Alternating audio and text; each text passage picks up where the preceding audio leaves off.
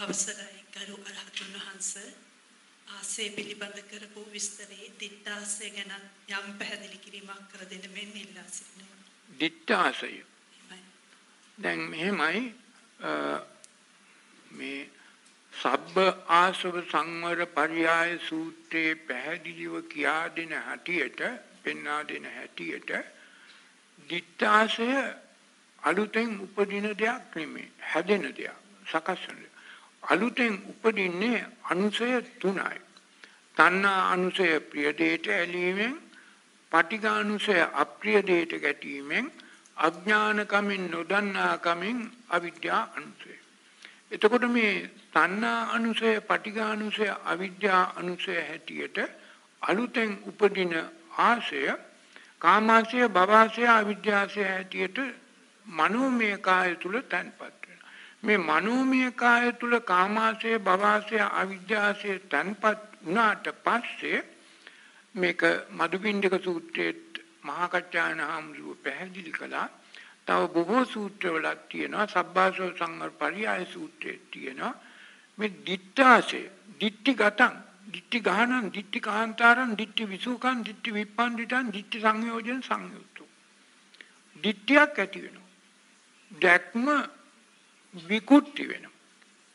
මේ පංචස්කන්ධය පිළිබඳව ඇති තතු යථාවාදී තථාකාරී ලෙස දකින්න බැරි වෙනවා. ඒ වගේම මේ ප්‍රිය මනාපදේ හොඳයි ප්‍රියයි මනාපයි කියලා දැක්ම විකෘති වෙනවා. ඉතින් ඒක නිසා මේ දැක්මක් Taman තුල වැරදි දැක්මක්.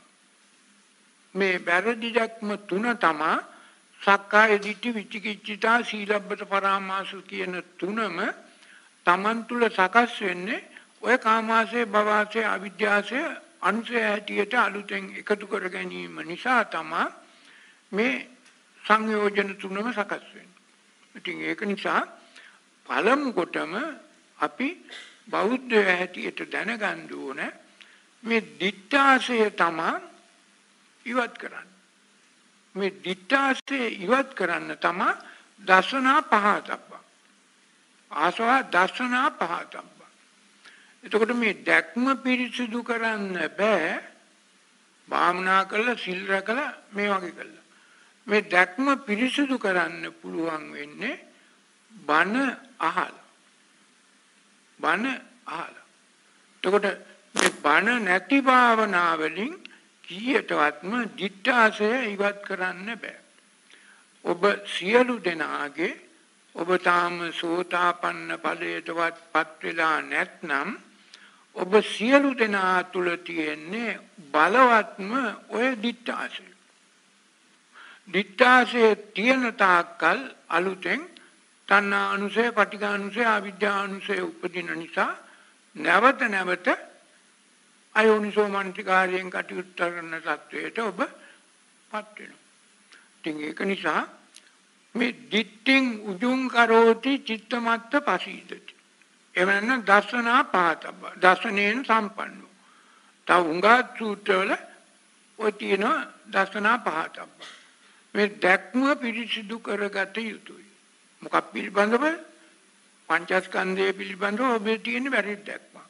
මේ ජීවිතයක් පවත්වාගෙන යාම පිළිබඳව ඔබේ තියෙන වැරද්දක් අර දෙව් සැප රජ සැප සිටු සැප බ්‍රහ්ම සැප ලබා ගන්න කැමැත්තක් ඇති වීම වැරදි දැක්මක් නන්දා මල්ලිකා සුමනා සුනන්දා විශාකාමෙන් භෝග සම්පත් රූප සම්පත් අර සම්පත් මේ සම්පත් ලැබ නැවත නැවතත් උපදින්නට තියෙන දැක්ම වැරදි දැක්ම. එතකොට මේ වැරදි දැක්ම කියන්නේ මේකයි. මිත්‍යා දෘෂ්ටිය. මේකෙන් මිදී නිදහස් වෙන්න. ඔබ තව අදට වඩා හොඳ හෙට සැපක් ලබන්න තියෙනවනේ ඒක වැරදි දැක්මක්. ඒක නිසා ඔබට ලැබෙයි සැප හැබැයි ඔබ උගුලකටත් අහුවේ. මොකද හේතුව අර මුල් බයින. පන්නානුස. ඒක නිසා මේ දිත්‍යාසය කියන එක කොහෙන් පිටින් ගේන දෙයක් නෙමෙයි අතුලාන්තයේ අධ්‍යාත්මය තුල මනෝමය කාය තුල මේ දිත්‍යාසය සකස් වෙනවා. දිත්තාසේ තියෙන තාක්කල් කාමාසේ භවසේ අවිද්‍යාසේ අලුතෙන් උපදින අනුසය හැටියට දිත්තාසේ අලුතෙන් නැවත නැවතත් සකස් වෙනවා.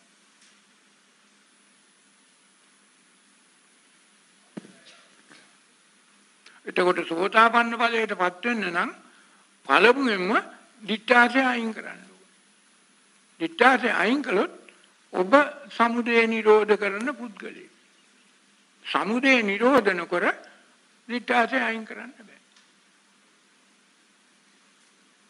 අවසරයි අනුතුන් වහන්සේ මගේ ප්‍රශ්නය ප්‍රශ්න ප්‍රශ්න දෙකක් ඇත්තට මම මේ වෙලාවේ මම ඔබ වහන්සේගෙන් අසන්න බලාපොරොත්තු වෙනවා. පළවෙනි ප්‍රශ්නය බුද්ධ ශක්තිය යනු කුමක්ද?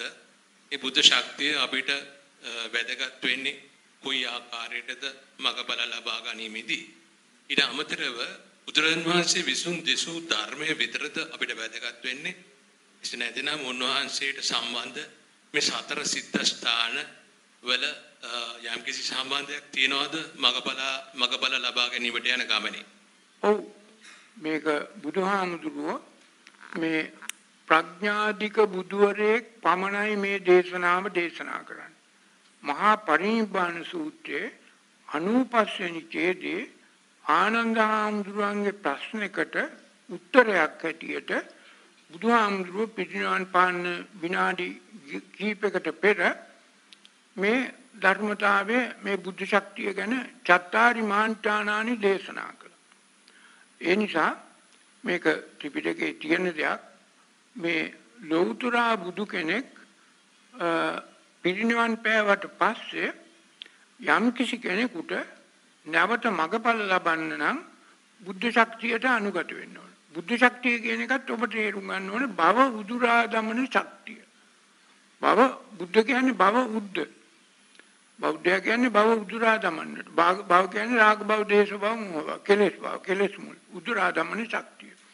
එතකොට යම් කිසි කෙනෙකුට මේ බුද්ධ ශක්තියට අනුගත වෙන්න නම් ওই මහා පරිනිබ්බාන සූත්‍රයේ බුදුහාමුදුරුවම ආනන්ද හාමුදුරන්ට අවසාන වශයෙන් දේශනා කරා මේ චත්තාරි මානිතානාන් ස්ථාන හතරක මේ වගේ බුද්ධ ශක්තියක් කේන්ද්‍රගත වෙලා තියෙනවා. ඒ කියන්නේ අතීතයේ බුද්ධත්වයට පත් වූ සියලු බුදුවරුන්ගේ මනෝමය කායන් එක තැනකට කේන්ද්‍රගත වෙලා තියෙනවා. අතීතයේ මේ මිහිතලයේ තුල මේ මිහි පෘථිවිය තුල බුද්ධත්වයට පත් වූ සියලු ලෞතර බුදුවරුන්ගේ පසේ බුදුවරුන්ගේ අරහත් බුදුවරුන්ගේ සියලු බුදුවරුන්ගේ මනෝමය කායන් එක තැනකට කේන්ද්‍රගත වෙලා තියෙනවා. ඒ කේන්ද්‍රගත වූ ස්ථාන හතර තමයි අර තිබුණේ අර කිව්වේ මහා පරිනිබ්බාන සූත්‍රයේ. එතකොට යම් කිසි කෙනෙක් කියනවා නම් අපි මගඵල ලබන්න නිවන් දකින්න මේ බුද්ධ ශක්තියට අනුගත ඕනේ අතුගන්න අනුගත වෙන්න ඕනේ. අපිට මේ ධර්මයක් තියෙනවා නම් භාවනා කළොත් සිල් රැක්කොත් පිරිත් කිව්වොත් නිවන් දකින්න පුළුවන්. සම්පූර්ණයෙන්ම බුද්ධ දේශනාව විකුට්ටි කිරීමක් බවට පත් වෙනවා. ඉතින් ඒක නිසා ඔබ සියලු දෙනාම තේරුම් ගන්න ඕනේ මේ පැවැත්ම තුළ මේ රට තුළ මේ බුද්ධ ශක්තියක් තියෙන තැනක් තියෙනවා. දැන් අපේ ගෞතම බුදුහාමුදුරුවෝ අර රජගෙදරින් නික්මලා අවුරුදු 6ක් බෝසත්තුමා හැම තැනම රටේ ඇවිද්දා ධර්ම නිවන හොයාගෙන. හැබැයි ඔය උරුවෙලා ජනපදයේට එහෙම නැත්නම් ඔය බෝධීන් වහන්සේ ගාවට අර අතීත සියලු බුදුවරුන්ට බුද්ධ ශක්තිය තියෙන අර බුද්ධ ශක්තිය කේන්ද්‍රගත වූ මේ රමණීය භූමිය වාගේට පැමිණෙන තුරු බුද්ධ ශක්තියට අනුගත වෙන්න බැරි වුණා. බුද්ධ ශක්තියට අනුගත වූවාම මේක සහජිලිව පිරිසිදුව සංඝාරව කියලා සූත්‍ර ගණනාවක් තියෙනවා ත්‍රිපිටකේ මජ්ක්‍ධිම නිකායේ තියෙන සංඝාරව සූත්‍රය බුදුහාමුදුරුවම කියලා තියෙනවා මේ මේ බුද්ධ මේ බුද්ධ ශක්තිය තියෙන මේ බෝධීන් වහන්සේ ගාවට ආවහම Tamanට අර සිද්ධ වෙච්ච වෙනස බුද්ධ ශක්තියට අනුගත වී. ඒක නිසා මේ සංඝාරව සූත්‍රය හොඳට කියවලා බලන්න මජ්ක්‍ධිම නිකායේ තියෙනවා. තව සංඝාර සූත්‍ර තියෙනවා අංගුත්තර නිකායේ සංයුත්ත නිකායේ මජ්ක්‍ධිම නිකායේ තියෙනවා සංඝාරව සූත්‍රයක්. බුදුහාමුදුරුවෝ බෝසත්තුමා මේ බෝධීන් වහන්සේ ගාවට ආවම මේ බුද්ධ ශක්තියට අනුගත වූ ආකාරය පැහැදිලිව කියලා තියෙනවා. ඉතින් ඒක නිසා ඔබ සියලු දෙනාත් දැන් අද අපේ ජීවමානව අපිට බුදු කෙනෙක් නැහැ. ලෞතර බුදු කෙනෙක් නැහැ. හැබැයි ඒ ජීවමානම නැතුවට ඒ සියලු බුදුවරුන්ගේ අතීතයේ බුද්ධත්වයට පත් වූ මනෝමය කායන් මේ මධ්‍ය මණ්ඩලය තුල මේ රට තුල තියෙනවා. මේක වෙන කොහෙවත් නැහැ. මේ වෙන කිසිම තැනක ඉන්දියාවේ මෙහෙම බුද්ධ ශක්තියක් තියෙන තැනක් නැහැ. මෙතන මේ බිම්බර ගතිය ග්‍රැවිටි පවර් එහෙම නැත්නම් ගුරුත්වාකර්ෂණ ශක්තිය අඩුම තැන මේක ප්‍රායෝගික වශයෙන් එහෙම නැත්නම් භෞතික වශයෙන් නවීන විද්‍යාත්මක වශයෙන් නාසායතනයක් මේක මම කිව්වහම මම කියනකම් මේගොල්ලොත් හිතුවේ නෑ මේක. මම ප්‍රසිද්ධියෙම කිව්වා. මේ ගුරුත්වාකර්ෂණය එහෙම නැත්නම් මේ ග්‍රැවිටි පවර් කියන එක මේ බිම්බර ගතිය කියන එක අඩුතනක් තියෙනවා. ඒ මොකද හේතුව? අර සියලු අතීතයේ බුද්ධත්වයට පත් වූ සියලු බුදුවරුන්ගේ මනෝමය කායන් කෝටි ප්‍රකෝටි වූ මනෝමය කායන් එක තැනකට කේන්ද්‍රගත වෙලා තියෙනවා. මේ මනෝමය කායන් කේන්ද්‍රගත වෙන්න අල්පෙනෙති තුඩකවත් ඉඩක් බිමක් ආවරක් ඕනේ නැහැ. මොකද ඒවා ඔක්කොම මනෝමය කාය. ඉතින් ඒක නිසා හැබැයි ශක්තියක් තියෙනවා. ඒ ශක්තියට ඔබ අපි සියලු දෙනා බුද්ධ ශක්තියට අනුගත වෙන්න ඕන.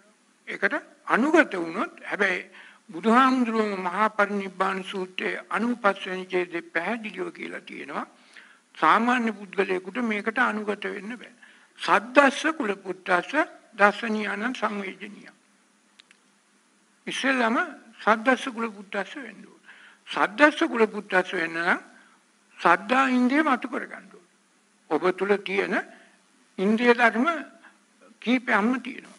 මේක අර මේ මහා පටිච්චසමුප්පාද මග්ග ප්‍රකරණයේ තියෙනවා ඔබ තුල තියෙනවා චක්කායතනෙ සෝතායතනෙ ගානායතනෙ ජීවායතනෙ කායයතනෙ මනායතනෙ ආයතන හය ආයතන කියන්නේ අහ කියන කුණු එකතු කරගන්න. මේ ආයතන හය ඔබට පුළුවන්කම තියෙනවා ඉන්ද්‍රිය සංවරයෙන් ඔය චක්කු ඉන්ද්‍රිය සංවර සංයුතෝ සෝත ඉන්ද්‍රිය සංවර සංයුතෝ ගාන ඉන්ද්‍රිය සංවර සංයුතෝ ජීවා ඉන්ද්‍රිය කාය මනි ඉන්ද්‍රිය සංවර සංයුතෝ එතකොට මේ සංවර සංතන සම්මුතිය නිරෝධ කරන්න එතකොට ඔබේම ඇහැ කන නාසය දිවකය මනහයම ඉන්ද්‍රිය ධර්ම බවට පත් වෙනවා. එතකොට ඔබ තුල උපේක්ඛා ඉන්ද්‍රිය මතුවෙනවා. උපේක්ඛා ඉන්ද්‍රිය මතු වූ ගමන්ම ඔබ තුල සද්දා ඉන්ද්‍රිය මතුවෙනවා. අන්න සද්දස්ස කුල පුත්තස්ස. මෙන්නේ සද්දස්ස කුල පුත්තස්ස කියන පුද්ගලයෙකුට මේ බණ අහලා මේක තේරුම් අරගෙන සමුදය නිරෝධ කළොත් තරහ එනකොටම මෙත්තානුස්සති මරණානුස්සති බුද්ධානුස්සති වැඩුවොත් හරි. රාගයක් එනකොටම අසුභානුස්සති මරණානුස්සති බුද්ධානුස්සති වැඩුවොත් හරි. මේ නැතුව පිරිත් කිව්වට පිරිත් පෑන් බිව්වට පිරිත් නූල් බැන්දට සිල් රැක්කට සිල් සමාදන් වුණාට දන් දුන්නට පින්කම් කළාට මේක වෙන්නේ නැහැ. මේක හොඳට තේරුම් ගන්න ඕන. ඔබ සද්දස්ස කුල පුත්තස්ස වෙන්න නම් ඔබ තුලම ඔය තියෙන ඉන්දිය ධර්මයන් බල ගන්නන්න. සද්දා ඉන්දිය බල ගන්න ඕන. අන්න සද්ධා ඉන්ද්‍රිය බලගන්නු පුද්ගලයා සද්දස්ස කුල පුත්‍රස්ස අන්න ඒ පුද්ගලයාට පුළුවන්කම තියෙනවා අර සියලු බුදුවරුන්ගේ මනෝමය කායන්ගේ තියෙන ශක්තියෙන් බුද්ධ ශක්තියට අනුගත වෙන්න මගඵල ලබන්න පාර පිළිවෙල විවෘත කරගන්න. ඒකයි ක්‍රමය. ඒක බුදුහාමුදුරුවෝ ඊටා පැහැදිලිව මේක සූත්‍ර ධර්ම ගණනාවක මහා පරිනිබ්බාන සූත්‍රයේ 95 වෙනි ඡේදයේ සංඝාරෝ සූත්‍රයේ පැහැදිලිව බුදුහාමුදුරුවෝ දේශනා කළ තියෙන දේවල් නේද? මම මම හොයාගත්තේ ඒවා නෙමෙයි ත්‍රිපිටකයේම තියෙන දේවල්. හැබැයි ඔබට ඔබට පුළුවන් ප්‍රායෝගිකව ඒ බුද්ධ ශක්තියට අනුගත වෙන්න. ඔබට මේ අනුගත වෙච්ච අය දැනට ලංකාවේ සෑහෙන ප්‍රමාණයක් අද ජීවත් වෙනවා. ඒක තේරුම් අරගෙන හැබැයි ওই බුද්ධ ශක්තියට අනුගත වෙන්න තියෙන තැන් වහන පිරිසකුත් අද ඉන්නවා රටේ ලෝක. ඒකයි වැඩි. ඒවා වහලා අයින් කරලා විනාශ කරලා විනාශ කරලා කොන්ක්‍රීට් දාලා වහන මිනිස්සුත් කොටසක් ඉන්නවා.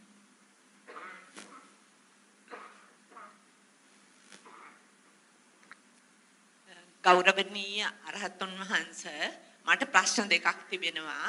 මගේ පළවෙනි ප්‍රශ්නය ධම්මචක්කප්පවත්තන සූත්‍රයේ අවසාන ඡේදයේ තිබෙනවා සංකම්පී සම්පකම්පී සම්පවේදී අපමානෝ උලාරෝ ඕබාසෝ ලෝකේ පාතරෝ හෝති කියලා. අපට කරුණාවෙන් මේක පහදා දෙන්න. ඕ මෙහෙමයි මේක වචනෙන් වචනයට මට පැහැදෙන එක තරම් අද පරම ලෙස word to word translation එකක් කරන එක ගැලපෙන්නේ නැහැ. මේක වැඩේ මේ මේ බුදුහාමුදුරුවම මුලින්මත් කිව්වා ධම්මචක්කප්පවත්තන සූත්‍රයේ අර චක්කුන් උදපාදි ඥානං උදපාදි විද්‍යා උදපාදි ආලෝකෝ උදපාදි සංවත් අන්ති. ඕකම තමයි අවසාන වශයෙන් ධම්මචක්කප්පවත්තන සූත්‍රයේ මේ ආලෝකෝ උදපාදි. ඒක නිසා අඳුර දුරු විය. ඉර පෑවුවා. ප්‍රඥා ලෝකේ මතුණා.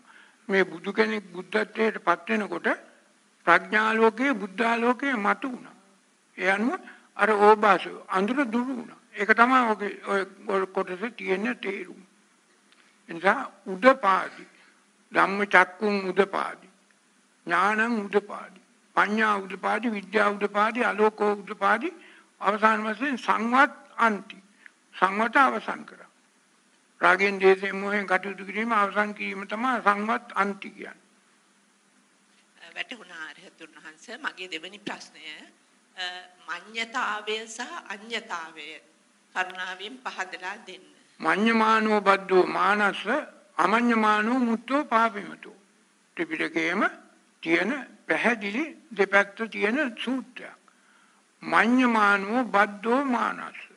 රාගයෙන් දේශයෙන් මොහෙන් රාගයේ දේශයෙන් මොහෙන් නිච්චසේ සුඛසේ ආත්මසේ ගන්න පුද්ගලයා මඤ්ඤමානෝ අසමානයෙන් කටයුතු කරනවා මඤ්ඤමානයෙන් කටයුතු කරනවා බද්දෝ මාරස් නැවත නැවත අලි අලි මාරයට බැඳිනවා අමඤ්ඤමානෝ මුත්තෝ පාපින්තු අමඤ්ඤමානෝ ඒ බුද්ධය කීයටවත් මඤ්ඤමානයෙන් කටයුතු කරන්නේ අනිත්‍ය දුක්ඛම් විපරිණාම ධම්මං තේරුම් අරගෙන නිබ්බිදාය විරාගය නිරෝධය පටිනිස්සග්ගය තේරුම් අරගෙන ඒ අනුව කටයුතු කරන පුද්ගලයා අමඤ්ඤමානෝ මුත්තෝ පාපින්තු පාපියුන්ටාගේ මායයෙන් මිදී නිදහස් වෙනවා. අරහත් ඵලයටපත් වෙනවා.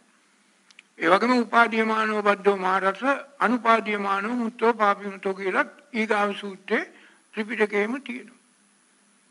නිසා ඔබ සියලු දෙනා මායයට බැඳෙන්නේ මඤ්ඤතාවෙන් අසුමානෙන් නිච්චසේ ඔබ කවුරුත් දන්නවා ඔබට ප්‍රියයි නම් මනාපයි නම් මිහිරි නම් මధుර නම් ආස්වාදයක් තියෙනවා නම් සතුටක් සුවයක් තියෙනවා නම් සුඛ සෝමනස්ස සහගත නම් ඔබ ඒක නැවත නැවත පිනවා පිනවා නිත්‍යසේ සුඛසේ අත්සේ මමත්වයෙන් ගන්නවා. මායයට බැඳිනවා. ඒ නමුත් අනිත්‍ය දුක්ඛම් විපරිණාම ධම්මං නිබ්බිදාය විරාගය නිරෝධය පටිනිස්සග්ගය තේරුම් ගත්ත පුද්ගලයා අමඤ්ඤමානෝ මුත්තෝ පාපිනතු. අනුපාදීයමානෝ මුත්තෝ පාපිනතු. වැටුණාරි හතුන් වහන්සේ අඤ්‍යතාවිය අඤ්‍යතාවී ඉන්ද්‍රිය ගැන ඔව් දැන් මඤ්ඤතාවයේ මිදී නිදාසුනාම දැන් අර කොණ්ඩඤ්ඤ බමුණා පළවෙනි වරට සෝතාපන්න ඵලයටපත් වෙනකොට මඤ්ඤතාවීන්ද්‍රිය අයින් වෙලා අඤ්ඤතාවීන්ද්‍රිය බල ගන්නවා. ඔබ සියලු දෙනාම රාගෙන් දේශයෙන් මොහෙන් කටයුතු කළ අනුසය සමුදය උපද්දවා ගන්නවා නම් ඔබ මඤ්ඤතාවීන්ද්‍රිය නැවත නැවත නිර්මාණය කරන හදන පුද්ගලයෙක්. ඔබ අර රාගෙන් දේශයෙන් මොහෙන් මිදී නිදහස් වෙන්න සමුදේ නිරෝධ කළා නම් කරනවා නම් යංකින්චි සමුදෙන් ඉස්සෙල්ලම තියෙන යංකින්චි සමුදේ ධම්මං සබ්බන්තං නිරෝධ ධම්මං ඒ අනුව විරජං විහිතමලං ධම්ම චක්කුම් මුදපාදි මඤ්ඤා කොණ්ඩඤ්ඤ අඤ්ඤා කොණ්ඩඤ්ඤ වාවයටපත් වුණා. ඔබටත් ඒකමයි ඔබ රාගෙන් දේශයෙන් මොහෙන් කටයුතු කරන තාක්කල් ඔබ අඤ්ඤතා මඤ්ඤතාවීන්ද්‍රිය නිර්මාණය කරනවා. මේක තමයි මේ ත්‍රිපිටකයේ මජ්ක්‍ධිම නිකායේ තියෙන පළවෙනිම සූත්‍රයේ සබ්බධම්ම මූලපරියාය සූත්‍රයේ ওই ධර්මතාවයේ තියෙන. ඉතින් ඒක නිසා ඔබ සියලු දෙනා හොඳට තේරුම් ගන්න ඕන මේ අස්මිමානීය මඤ්ඤතාවය ඔබ තුල නිර්මාණය වෙන්නේ ඔබ ප්‍රිය දෙයට තණ්හාවෙන් උපාදානය කරගන්නවා අප්‍රිය දෙයට පටිගයෙන් ගැටෙනවා. ඒ වගේම අයෝනිසෝ මනසිකාරයෙන් අවිද්‍යාවෙන් කටයුතු කරනවා. ඔය තුන නිසා තමා අනුසය තණ්හානුසය උපදින්නේ ප්‍රිය දෙයට ඇලීම නිසා පටිඝානුසය උපදින්නේ තරහෙන් වෛරයෙන් ක්‍රෝධයෙන් කටයුතු කිරීම නිසා අවිද්‍යා අනුසය උපදින්නේ අයෝනිසෝ මනසිකාරයෙන් කටයුතු කිරීම නිසා. ඔබ සතරකමටහන් කරනවා නම් තරහක් වෙනකොටම මෙත්තානුසති මරණානුසති බුද්ධානුසති වඩනවා නම් පටිඝානුසය උපදින්නේ. ඒ වගේම ප්‍රියමනාප දෙයට අන්තවාදී අන්තගාමී ලෙස ඇලෙන්න ප්‍රිය මනාප දෙයට ඇලෙන්න ලෝභයක් තණ්හාවක් ඇති වෙනවා නම් කැමැත්තක් ඇති වෙනවා නම් චන්ද රාගයක් අර අසුභානුසති මරණානුසති බුද්ධානුසති වඩන්න ඕන. ඒ වගේම මරණානුසති බුද්ධානුසති වැඩිමෙන් අවිද්‍යාවිනුත් මිදී නිදහස් වෙනවා. ඔබට මගපල් ලබන්න පුළුවන්. හැබැයි සිල් රැක්කට සිල් සමාදන් වුණාට මේක හරියන්නේ දන් දුන්නට පින්කම් කළාට මේක හරියන්නේ ඒක නිසා ඔබ තුල වර්තමාන මොහොතේ උපදින්නට එන අනුසය අලුතෙන් උපදින දේ න අනුසයටි කරන්න ඕන නොඋපදවාම ඔබ ඕන වැඩක් කරමි. යනකොට එනකොට කනකොට බොනකොට නානකොට වැසිකිලි කැසිකිලි යනකොට ඕන වෙලාවක වාහනයක් එළවනකොට ඔබ බොහෝ දෙනෙක් අද වාහනේ එළවන ඔබට දැන් වාහනයක් එළවන යනකොට පිටිපස්සෙන් එන හදිසිකාරයෙක් එන්න පුළුවන්. ඕන එකක් දෙකක් තුනක් ගැහුවා. වෙට්ටුවක් දැම්ම. හැපුණා නොහැපුණා වගේ ගෑවිනෝකී ගියා. ඔබ තරහක් ආවා. තරහ ගන්න එපා. මෛත්‍රී කරන්න. ඒ මිනිහට මට වඩා හදිසියක් ඇති. ඒ මිනිහටත් යහපතක් වේවා. ආරක්ෂාව සහිතව ප්‍රේසයන් සහිතව ඒ මිනිහටත් මේ ගමන යන්න මගේ ආශිර්වාදය අදිස්ථානය කියලා මෙත්තානුසති වඩන්න. මට අනුසති බුද්ධ අනුසති. ඒක නිත්‍ය කරගන්න එපා. ඒකෙන් අර එළවගෙන ඉලා ආයතරයක් ඉස්සර කරන්න යන්න එපා. එච්චරයි කරන්නේ. එතකොට වාහනයක් එළවනකොටත් ඔබට මේ ආනපාන සති සමාධිය වැඩිව හැකියි. වැසිකිළියට ගියත් ඔබට මේ ආනපාන සති සමාධිය වැඩිව හැකියි.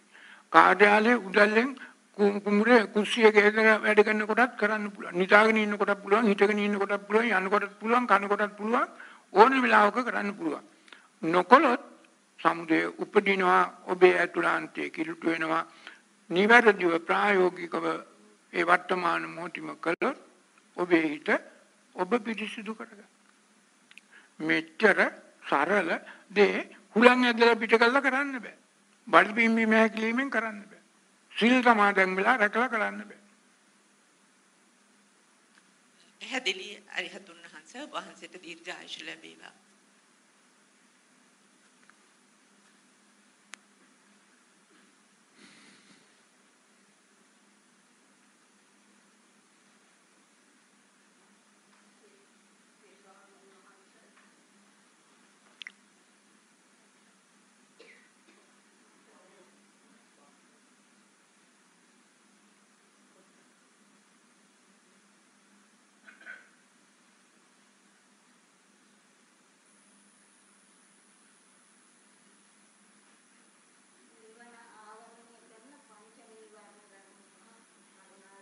නිවන ආවරණය කරන පංච නීවරණ පළවෙනි එක කාමච්ඡන්දය. දෙවෙනි එක ව්‍යාපාදය. තුන්වෙනි එක තීන මිද්ද. හතරවෙනි එක උද්දච්ච කුක්කුච්ච. පස්වෙනි එක විචිකිච්ඡිතාවය. මොකද්ද මේ කාමච්ඡන්දය කියන්නේ? මාගදී භාෂාවේ වචනයක් වචන තුනක්. කාම ඉච්ඡාන්ද? මේ කය රමණය කරන්න කන නාසය දිවකය රමණය කරන්න පිනවන්න කාමයෙන් ඉච්ඡ කියන්නේ කැමැත්තෙන්. අඳුරටම යනවා. අර රාග අඳුර දේශ අඳුර මෝහ අඳුර නිර්මාණය කරගන්න එක කාමච්ඡන්ද. කාමච්ඡන්ද කියන්නේ ඒක. ව්‍යාපාද කියන්නේ. වැයවන දැන් මේ බුද්ධ දේශනාවේ පාද දෙකක් තියෙනවා. ඔය කාමච්ඡන්ද පොට්ටපාද දෙවෙනි එක ව්‍යාපාද. පහලින් පහලටම පහලින් පහලටම යනවා. අර සිරිදෙස්මේ මහියංගනේදී බුදුහාමුදුරුවෝ මේ යක්කහෙල භාෂාවෙන් දේශනා කරපු සිරිදෙස්මේ තියෙන්නේ ඔය ව්‍යාපාදේ. පහලින් පහලටම පහලින් පහලටම යනවා. ආයි හෙලින් හෙලටම එනවා. ඒක නිසා ව්‍යාපාදේ කියන්නේ තරහෙන් වෛරයෙන් ක්‍රෝධයෙන් ඊර්ෂ්‍යාවෙන් පටිඝයෙන් රෝධයෙන් විරෝධයෙන් කටයුතු කිරීම නිසා යන්නේ පහලින් පහලට. තමන්මයි යන්නේ. දැන් මේ ව්‍යාපාදයට හොඳම උදාහරණයක් ත්‍රිපිටකයේ තියෙනවා. ඔබ කවුරුත් දන්නවා. මොකක්ද උදාහරණේ? මේ ව්‍යාපාදයට හොඳම උදාහරණයක් තියෙනවා. අර ශේරිවානිජ වෙලෙන්දා බඩු කොට්ටනියකුත් අරගෙන ගියා වෙලඳාන්. පරණ වලව්වක තිබුණා දැලි ගෑවිච්ච තලියක්. අර වලව්වේ හිටිය ආච්චි අම්මා කිව්වා මෙන්න මෙච්චරයි පුතේ අපිට තියෙන්නේ පුළුවන් නම් මේක අරගෙන මොනවා හරි දෙන්න කියලා. ඉරක් ඇඳලා බැලුවා රත්තරන් තලියක්. හැබැයි පොඩි වංචාකාරී අදහසක් ආවා මොනවා හරි ටිකක් සොච්චමක් දීලා මේක ගන්නවා ඉතුරු බඩු ටික විකුණගෙන එනවා කියලා කියා. ආව බෝසත් වෙලෙන්ද. බෝසත් වෙලෙන්දට කිව්වා අර කතාවම බෝසත් වෙලෙන්ද ඇඳලා බැලුවාම මේක රත්තරන් තලියක් තමන්ගේ ගාව තියෙන සියලු බඩු වලට වඩා මේ රත්තරන් තලිය හතර පහ ගුණයකින් වටිනවා සියලු බඩු ටික දීලා ගියා. අර සේරි වාණිජ වෙලෙන්දට රත්තරන් තලිය එයාට ඉස්සෙල්ලා හම්බුනේ. ඒක අහිමි වූ බේසය මේ ඔය 550 ජාතකෙම තියෙන ওই ව්‍යාපාදේ. ඕක තමයි ව්‍යාපාදේ. අර අනික මොකද්ද? අතන තියෙනවා අර තලියට ඇති වූ කාමච්ඡන්දය. තේරුණාද? අර තලියට ඇති වූ කාමච්ඡන්දයයි මේ ව්‍යාපාදයට හේතු වුනේ. එතකොට ඔය දෙකේ එකතුව තමයි යම් කිසි හිතක් කිලුටු වුණොත් කාමච්ඡන්දයෙන් යම් කිසි හිතක් කිලුටු වුණොත් ව්‍යාපාදයෙන් මේ නිවන ආවරණය වෙනවා. තුන්වෙනි එක සකස් වෙනවා. තීන මිද්දේ කියන්නේ මේ අවිද්‍යාව මෝහය අයෝනිසෝ මනසිකාරයෙන් කටයුතු කිරීම නොදන්නාකම අඥානකම කියන කරුණු ඔක්කොටම එකතුව තීන මිද්දේ. හතරවෙනි එක ඒ නිසා උද්දච්ච කුක්කුච්ච කුණුහාරණ කැමැත්ත කුක්කුච්ච. උද්දච්ච. උදාසීමේ කැමැත්ත. අභිමාණයෙන් අතිමාණයෙන් උද්දච්චකමෙන් කටයුතු කරනවා. ඒ නිසා විචේකේ ඉච්ඡ විඥාන චිත්තේ කිලුටු කැමැත්තක් ඇති වෙනවා. එතකොට මේ පංච නිවන ආවරණය කරන කරුණු පහ කරුණු පහේ මුල් වෙන්නේ දෙකයි. මුල් එක කාමච්ඡන්ද ව්‍යාපාරය. ඒක නිසා ඊටු තුන තීන මිද්ද උද්දච්ච කුච්ච විචිකිච්ඡා තුන සකස් වෙනවා. ඒවා සකස් වෙනවා.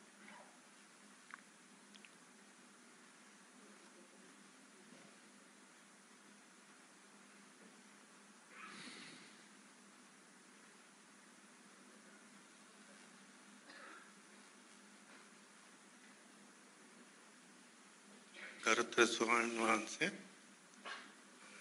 ඔබ වහන්සේකින් ඇසිය යුතු ප්‍රශ්න දෙකක් මට තියෙනවා. පළවෙනි ප්‍රශ්නේ තමයි ලංකා බෞද්ධ සමාජය තුළ විටින් විට මේ ප්‍රශ්නේ පැන නගිනවා. Taman Taman රහත් වෙලා යයි කියා ගන්න ස්වාමීන් වහන්සේලා විටින් විට සමාජය මොකද්ද මොකද්ද?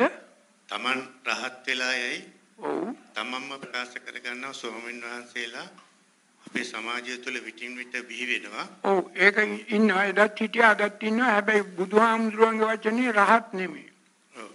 මොකද්ද? අරහත්. අරහත් තත්වේ නම් හරි. දැන් එදා රහතුනුත් හිටියා අර කෝසල සංයුක්තේ තියෙනවා. කොසල් රජුරුව පෙන්වුවා අන්න මගේ රහතන් වහන්සේලා යනවා කියලා. ඔව් බුදුහාමුදුරුත් කිව්වා ඒ රහතන් වහන්සේලා තමයි. හැබැයි අරහත් කියන එක ඊට වඩා වෙනයි. ඔව්. මගේ ප්‍රශ්නේ ස්වාමීන් වහන්සේ එහෙම තමන් විසින් ප්‍රකාශ කරගන්න එක සුදුසු. ඒක දැන් මේ යම් යම් ආකාරයට යම් යම් අවස්ථාවල් වෙන්න පුළුවන් දැන් මේක ඒක ප්‍රසිද්ධියේ ප්‍රකාශ නොකලත් යම් යම් අවස්ථාවල් තියෙන්න පුළුවන් බුදුහාමුදුරුවෝම ජබ්බිසෝදන සූත්‍රයේ අනුදන වදාලා ඒ වගේ අවස්ථාවක් ආවොත් වැඩි කාගෙත් යහපත සිද්ධ වෙනවා නම් තේරුණාද? ඔව්. ඉමේ ධම්මා කුසල ධම්මා මේක කුසලයේ වඩාවට දෙන මේක මග පදෙන් තවත් බොහෝ දෙනෙකුට මේ මගපල් ලබන්න උපකාර වෙනවා නම් මේ මගපල ප්‍රකාශ කරන්න අලමරිය ඥාන දර්ශන විශේෂ ප්‍රකාශ කරන්න කියලා තියෙනවා. නමුත් යම් කිසි කෙනෙක් වැඩි දෙනෙක් ආරෝපාද කරගන්නවා නම් ඒක නොකර ඉන්න එක හොඳයි කියලා බුදුහාමුදුරුවෝ කියලා තියෙනවා. ඒක නිසා ඒ කරන්න ඒ අවස්ථාව අනුව කල්පනා කරලා හේතුඵල ධහමට යෝ ධම්මෝ යෝ විනෝසෝ වාසිතබ්බෝ ගහගල්පා කටයුතු කරන්න ඕන මේකෙන් යම් කිසි කෙනෙකුට යහපතක් වැඩි දෙනෙක් අඩු ගානේ තව දෙතුන් දෙනෙක්වත් මගපල ලබන්නට උපකාර වුණොත් අර ලක්ෂයක් මගපල ලැබීම නතර වුණාට වඩා දෙන්නෙකුට තුන් දෙනෙකුට හරි මගපල ලැබෙනවා නම් ඒක කරන්න කියලා බුදුහාමුදුරුවෝ කිව්වා. ඒක නිසා යම් යම් අවස්ථාවල යම් යම් අය මේක කියනවා එහෙම වෙන්න පුළුවන්. හැබැයි දැන් අද ලංකාවේ කියන මිනිස්සු ඉන්නේ ඔක්කොම රහතුන් වහන්සේලා. තේරුණාද? මම රහත් වුණා. ඒක ඒක කිව්වට කමන්නේ මොකද ඒක බුදු වචනයක් නෙමෙයිනේ. ඒක මේ වැරදි වචනයක්. ඕක වෙලා තියෙන්නේ ත්‍රිපිටකයේම මේ අරහත් අරහං අරහතෝ හැමතැනම සිංහලට පරිවර්තනය කළා රහත් රහං මේ රහතුන් මෙහෙම. ඒක වැරදි වචනේ. වැරදි පරිවර්තනයක්. එහෙමයි ස්වාමීන්.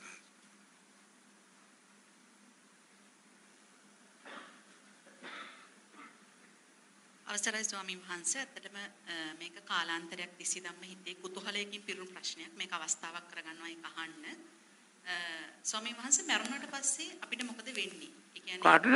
මරුණට පස්සේ ඔව් මරුණට පස්සේ ඔයාට අපි සියලු දෙනාට සියලුම රූපේ- දෙනා මැරෙනවා. හැබැයි. මෙහෙමයි. බුදුහාමුදුරුවෝ කිව්වා රූපං ජීරති මජ්ජානං නාම ගොත්තං නජීරති.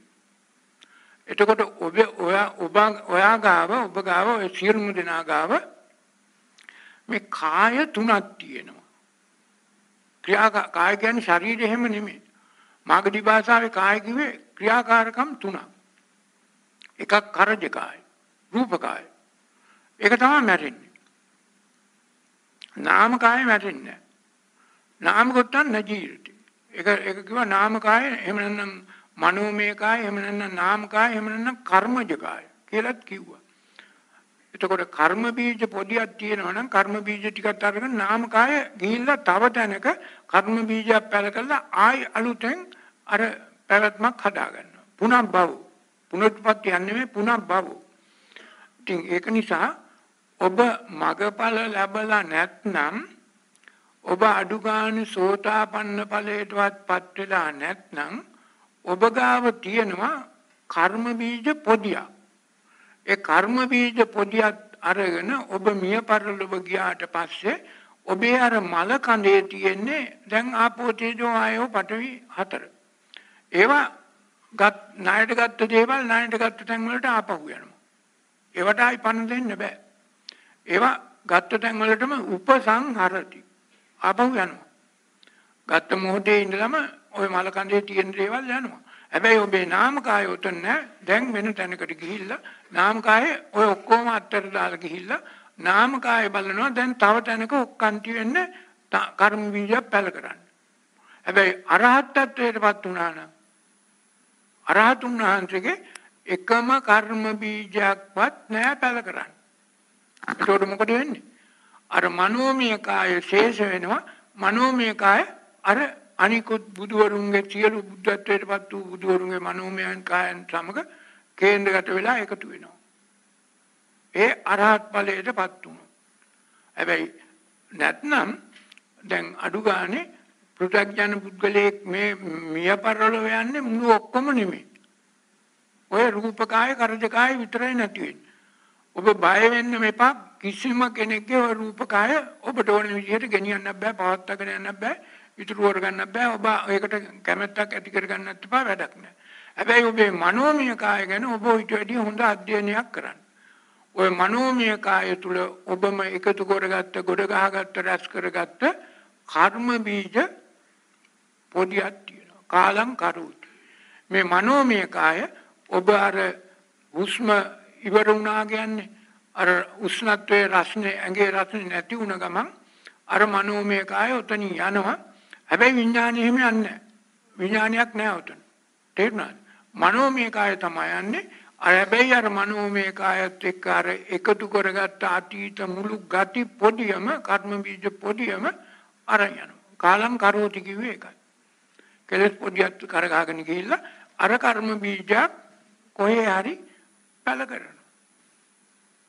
ඒ වගේම ස්වාමීන් වහන්සේ අ, අපේ අ, ස්වාමීන් වහන්සේලාගේ ධර්ම දේශනා වලට සවන් දෙද්දී අ, අපි මරුණට පස්සේ අපේ අ, මිනිය බලන්න එන්නේ කවුද අපේ දූ දරුවෝ අපේ අවට ඉන්න කට්ටිය හැමෝම අපිට පේනවා කියලා අපේ ධර්ම දේශනාවලදී ස්වාමීන් වහන්සේලා පවසනවා ඒ වගේම අ, ඉන්දියානු ආධ්‍යාත්මික අ, දේශකවරුන් වන ඕෂෝ අ, සද්ගුරුනාදන් වැනි දේශකවරුන්ගේ දේශනා වලට සවන් දෙද්දී එතුමන්ලා පවසනවා මිය ගියාට පස්සේ ඒ චැප් ඒ චැප්ටර් එක පරිච්ඡේදය එතනින් අවසන් වෙනවා. හරියට පොතක් වැහුවා වගේ. කිසි පේන්නේ මේ නැහැ ඒක කියලා. ඒක මේ රූපකායේ ප්‍රතිච්ඡේදය ඉවරයි නමුත් මනෝමය කාය තවදුරට යනවා. දැන් අර ශේරිවාණිජ වෙලෙන්ද නෙමෙයිද දේවදත්ත වෙලා ඉපදුනේ? පිළිගන්නවද නැද්ද? පිළිගන්නවා. ආ එහෙනම් මනෝමය කාය නෙමෙයි ඔය ආවේ. අර තරහ නෙමෙයි ඔය පවත්වාගෙන ආවේ. ඔය 550 ජාතකයේම තියෙන ඔය කතාව නෙමෙයිද? ඈ? කල්පනා කරලා බලන්න. එතකොට ඔබ මේ බුදුහාමුදුරන්ගේ ධර්මයේ මේ අපේ බෞද්ධ ඉතිහාසයේ තියෙන ඔය පරම සත්‍ය තේරුම් ගන්නවද? ඔය එක එක මිනිස්සු කියන්නේ එහෙම තේරුම් ගන්න. ඕන මිනිහෙකුට ඕන එකක් කියන්න පුළුවන්. ඔබ හොඳට හිතලා මතලා කල්පනා කරලා බලන්න අපි ඉගෙන ගත්ත දේ අපේ බෞද්ධ ඉතිහාසයේ තියෙන දේ අපේ මේ බෞද්ධ බුදුහාමුදුරු දේශනා කරපු දේ කල්පනා කරන්න. හේතු යෝ ධම්ම යෝ විනයෝ සෝ වාසිතම්. ඕන කෙනෙකුට ඕන එකක් කියන්න පුළුවන්. අපි ගන්න අපි ඒක විවේචනය කරන්න යන්නෙත් නෑ. ඔය ඕන එකක් කියපුවා. හැබැයි බුදුහාමුදුරුවෝ කියපු දේ අපි විවේචනය කළත් පිළිගත්තත් නොපිළිගත්තත් කමන්නේ කාලාමා සූත්‍රයේ තියෙන එකයි. අපි මේ අනුගමනීය ප්‍රතිපදාව අනුගමනය කරන්න ඕන කුසලයේ වඩා වර්ධනය වන දේ කරන්න ඕන අකුසලයේ වඩා වර්ධනය වන දේ නොකර න සේවිතබ්බා කරන්න. අත්තරින් එතකොට අපේ ඇතුළාන්තයේ අධ්‍යාත්මය පිරිසිදු වෙනවා. අපිට මඟපල් ලබනවා. බුද්ධ ශක්තියට අනුගත වුණා. පැහැදිලි තෙරුවන් සරණයි ස්වාමීන් වහන්සේ. අවසරයි අරහතුන් වහන්ස. අර අවසරයි අරහතුන් වහන්ස. මට සාම ප්‍රශ්නයක් තියෙනවා. කුසලස්ස උපසම්පදා. දැන් මෙතෙන්දී මම අදහස් කරනවා දැන් අපි යම්කිසි කෙනෙක් අපිට යම්කිසි ප්‍රශ්නයක් ඇති කළාම අපි එතෙන්දී වේගයක් ආවේගයක් ਸੰతాපයක් ගන්නේ අප තුල අර නිත්‍ය සුඛ අත් වශයෙන් අපි අපේ මවගේ කියලා අල්ලා ගැනීම නිසා නේද කියලා පසුව මම අනිච්ච දුක්ඛ අනත්ත වශයෙන් ඒක මෙනෙහි කිරීමෙන් අපේ අර තියෙන අකුසල් අර කුණු බීජ පොදියෙන් තියෙන කුණු සලා හැරීමත්ද කුසලස්ස උපසම්පදා. මේකේ තියෙන්නේ සබ්බ පාප පස්ස කුසල අස්ස. මේ කුණු මුල් බෑලා තියෙන්නේ. තේරුණාද? ඔය මනෝමය කායේ තියෙන මුල් හොලවන්න ඕන.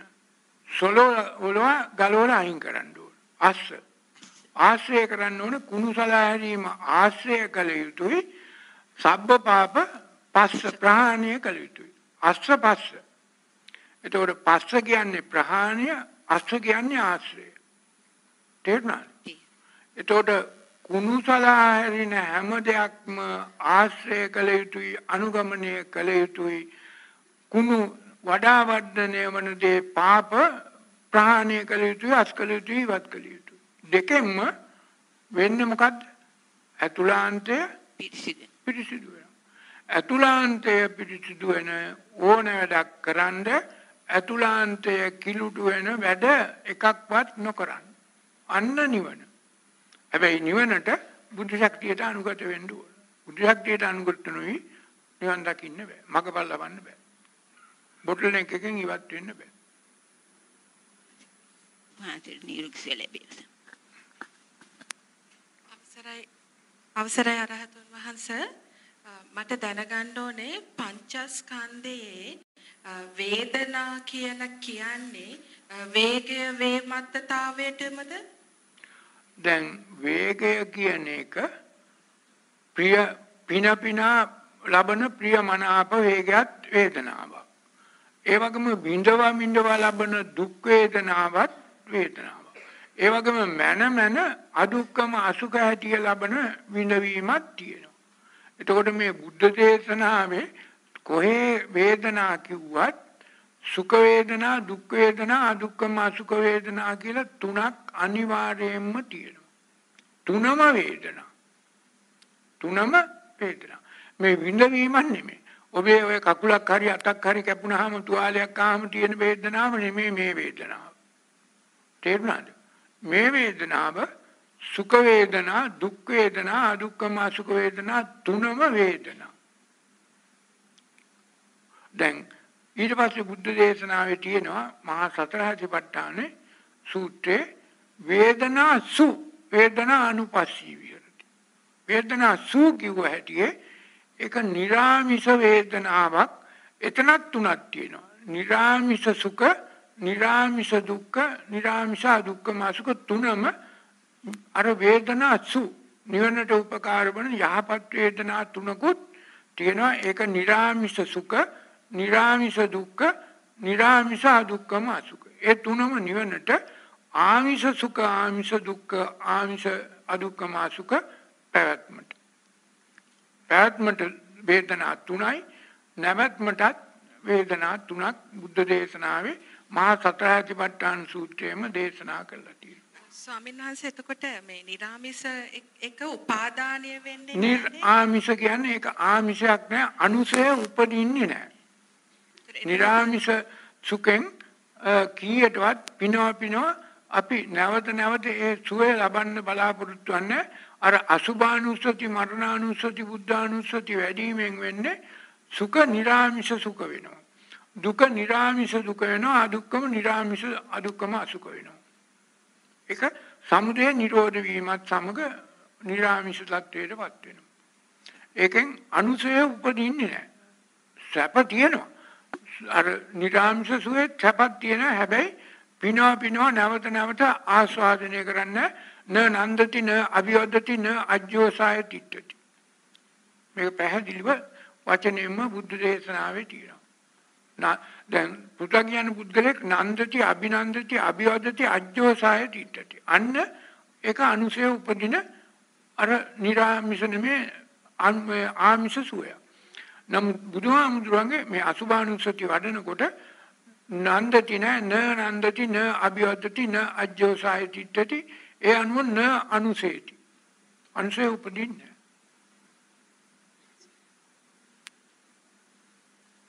අවසරයි අරහතුන් වහන්ස ප්‍රශ්න දෙකක් තියෙනවා. පළවෙනි ප්‍රශ්නේ අරහතුන් වහන්ස ආනපාන සති සමාධි භාවනාව තව සුළු වශයෙන් තව පොඩ්ඩක් විග්‍රහ කරලා දෙන්න පුළුවන්ද? ඔව් දැන් මේක ටිකක් සුළු වශයෙන් විග්‍රහ කරන්න පුළුවන්. නමුත් සුළු වශයෙන් විග්‍රහ කිරීමේදී යම් යම් අපහසුතාවලට පත් වෙයි කියන චේතනාව මත තමයි අපි මීරිගම මේ දින හතක්ම ත්‍රිපිටකයේ තියෙන සෑම සූත්‍ර ධර්මයක්ම මතු කරලා අරගෙන ඒ ආනපාන සති සමාධියට අදාළ සියලු මූල ධර්ම මතු කරලා මේ දින හතක් තුල ඔය සත්තට්ඨාන කුසල සූත්‍රය, සබ්බාසව සංවර පරියාය සූත්‍රය, සේවිතබ්බා සේවිතබ්බා සූත්‍රය, ඒ වගේම ප්‍රායෝගික වශයෙන් ගිරිමානන්ද සූත්‍රය මේ ඔක්කොම සූත්‍ර අරගෙන ඒ වගේම මහා රාහුලවාද සූත්‍රය අරගෙන බුදුහාමුදුරන්ගේ වචනේ මාර්ගන මේ ආනපාන සති සමාධිය වඩන හැටි ප්‍රායෝගිකවත් නිවැරදිවත් යුගනද්දවත් තුනක් තියෙනවා. ප්‍රායෝගික වෙන්න ඕන නිවැරදි වෙන්න ඕන යුගනද්ද වෙන්න ඕන.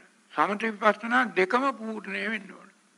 ඉතින් ඒක නිසා දැන් මේක කෙටියෙන්ම කියනවා නම් බොහොම සංක්ෂිප්ත වශයෙන් රාගයක් ආපු වෙලාවට අසුභානුසති වඩලා සමතේටපත් කරගෙන මරණානුසති වඩලා අනිච්ච දුක්ඛම් විපරිණාම ධම්මං තේරුම් අරගෙන ඒ ප්‍රියමනාප බව නිත්‍යසේ සුඛසේ අත්‍යසේ ගැනීම අසුමානී ගැනීම අයින් කරලා ඒකෙන් මිදෙන්න ඕන නිබ්බිදාය නොයලෙන්න ඕන විරාගාය. හිතෙන් රවුම් ගන්න ඕන නෑ නිරෝධාය. ඒ අනුව සබ්බ උපදි පටි නිස්සග්ග පටිය නිස්සග්ග කරන්න ඕන. පටිය ගලවලා අයින් කරන්න ඕන. ඉතින් එතකොට ඒ අසුභානුස්සති මරණානුස්සති බුද්ධානුස්සති වඩන්න ඕන. ඔය විසම ලෝභයක් දැඩි තණ්හාවක් අවශ්‍යතාවයක් අර තණ්හා අනුසයක් චන්දරාගයක් එන අවස්ථාව. ඒ වගේම තරහක් වෛරයක් ක්‍රෝධයක් ආවම ඒක ගඩලා හරියන්නේ නැහැ. තරහක් වෛරයක් ක්‍රෝධයක් ආවම එතෙන්දී මෙත්තානුස්සති මරණානුස්සති බුද්ධානුස්සති වඩන්න ඕන. ඒ වගේම අයෝනිසෝ මනසිකාරයෙන් කටයුතු කරනකොට අර මරණානුස්සති බුද්ධානුස්සති දෙක විපස්සනා ධූරේ පමණක් වඩන්න ඕන කියලා බද්දේ කරත්ත සූත්‍ර පහකම තියෙනවා. එත්ත එත්ත විපස්සති පච්චුප්පන්නංච යෝ ධම්මෝ. වර්තමාන මොහොතේ හිතට උපන් වැරදි දේ එත්ත එත්ත. එතන එතනදිම විපස්සති. වචන පහක්. වැරදි දේ වෙන් කර කර ප්‍රහාණය කරලා අස් කරලා ඉවත් කරන්න විපස්සති. විපස්සති කියන්නේ මේ එක වචනයක් එහෙම නෙමෙයි වැරදි දේ වෙන් කරලා ප්‍රහාණය කළා උදුරලා අස් කරන්න මේ පස්සති එහෙමයි. ඒ වගේම ආ දෙවැනි ප්‍රශ්නය ස්වාමින් වහන්සේ. අද බෞද්ධ අ, සමාජය තුළ අ, මුල් ගැහ- මුල් බැහැගෙන තියෙන කාරණාවක් තියෙනවා රහතුන් වහන්සේ. මේ බා- නොයෙකුත් පුණ්‍ය කර්ම කරලා දාන සීල භාවනාදී පුණ්‍ය කර්ම ඒ වගේම පන්සල් වෙහෙර විහාර හදලා දීලා ඒ වගේම ඉස්පිරිතාලවල ඉන්න ලෙඩුන්ට සාත්තු කරලා මුදල්මය අ, පරිත්‍යාගයන් කරලා නොයි ලේ දන් දීලා ශරීර අවයවයන් දන් දීලා නොයෙකුත් අ, පුණ්‍ය කර්මයන් කරගන්නවා අරහතුන් වහන්සේ අද බෞද්ධ සමාජය තුළ අ, සම්මතයයි අ, ම- පවසන බෞද්ධ සමාජය තුළ.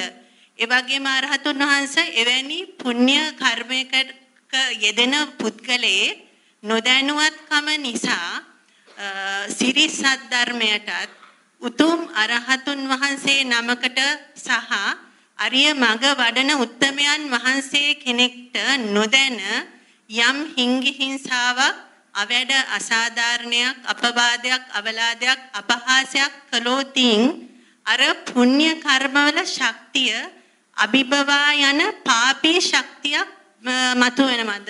එනවා මතු වෙනවා දැන් ඔබ කිව්ව දේවල් ඔක්කොම පුණ්‍ය කර්ම.